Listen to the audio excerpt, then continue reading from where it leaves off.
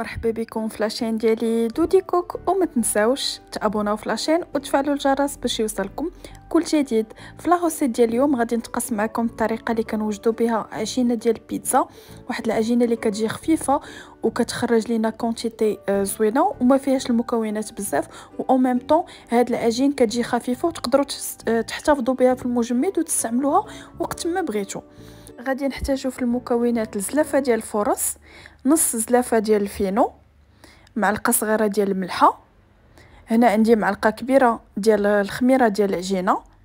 عندي معلقة كبيرة ديال الخل الخل هو اللي كيعطيها واحد الرطوبة هائلة.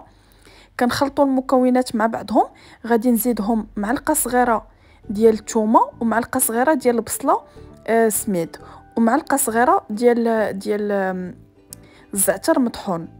وغادي نجمعوا المكونات كاملين وكنبداو نعجنو شوية بشوية بالماء دافي كيف ما كتشوفوا على هذه الطريقة. حتى كتجمع لينا العجين ديالنا مزيان.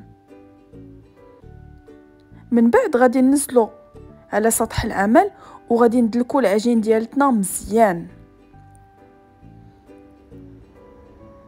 في هاد الأثناء أنا فاش كنكون كنعجن كنزيد واحد شوية ديال زيت العود كيف ما كتشوفوا وأنا كنعجن أو ميم طون فاش كنبغي نحطها باش كتختمر كندهن بزيت العود وكنسد عليها ب film alimentaire وكندير ليها زيف من الفوق باش كتسخن وكتخمر لينا مزيان.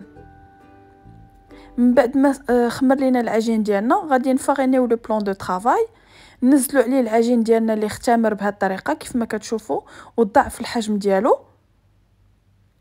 غادي نديرو farine حتى من الفوق نجيبو الدلاك ديالنا نطلقو أو ميم طون ما نرقوش العجين بزاف. أنا غنخلي لكم في صندوق الوصف المكونات آه بالضبط les ingrédients ديالنا بالعبار كامل. كيف ما كتشوفوا من بعد ما كنطلقوا بالدلاك ديالنا العجين ها هي العجين ديالتي كاملة. دابا غادي نجيب آه إلا عندكم زلافة كاس آه على حسب la forme اللي نتوما بغيتو. هذه تقدروا ديروا بها des mini pizzas كيف ما غنديرهم أنا comme تقدروا ديروا بها بيتزات كبار وتحتفظوا بهم. أنا هنايا هاد les mini pizzas. كيف ما كتشوفوا درت لهم هاد l'emporte-pièce اللي كبير. كنبداو ندورو حتى كنقطعوا الدوائر ديالنا على هاد الشكل كيف ما كتشوفوا وما تعوجوش العجين ديالكم باش ما يتخسروش لكم الدوائر ديالكم.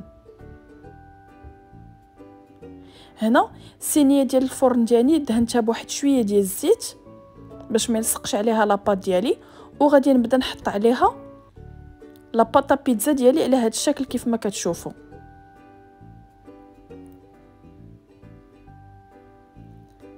حتى كنعمر الصينيه ديال الفرن ديالي كاملة. كنحاول غير انني نبسطهم باش كنقاد الدوائر ديالي وما كيتخسروش ليا فاش كنبغي نحطهم في الصينيه ديال الفرن. وهذاك الباقي ديال العجينة بيان سور غادي نجمعو بهذه الطريقة نعاود نعجنو عاد نطلقو بالدلاك ديالي باش يسهل عليا انني نطلقو مزيان. بهذه الطريقة كيف ما كتشوفوا ضروري من انكم تعجنوه باش بحال العجين كتعاود كتعاود طوع علينا في يدينا ونقدروا اننا نشكلوها كيف ما بغينا. من بعد ما كملت الدوائر ديالي كيف ما كتشوفوا كنجيبوا la fourchette وكنتقبوا العجين ديالتنا مزيان. بهذه الطريقة كيف ما كتشوفوا. هنا من بعد ما ساليت هنا أنا سخنت الفرن.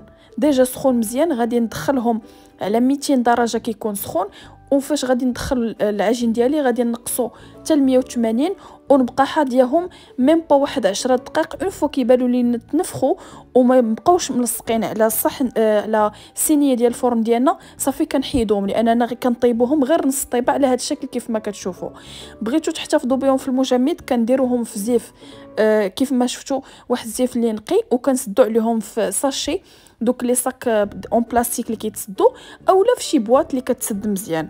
comme ça كنحتفظوا بهم في المجامد une fois كنبغيوهم كنجبدوهم وكنعمرهم وهما متلجين ماشي ضروري أن نخليهم حتى كيرطابوا عاد نستعملوهم. donc كنستعملوهم sur le champ و bien sûr إلا بغيتو تستعملوهم في نفس النهار اللي صيبتو فيهم العجين فهو كيجي عجين آه هش ورطب ولذيذ في المذاق. نتمنى أن la vidéo ديال اليوم تنال الإعجاب ديالكم. إلا عجبتكم ما تنساوش تخليو لي des j'aime.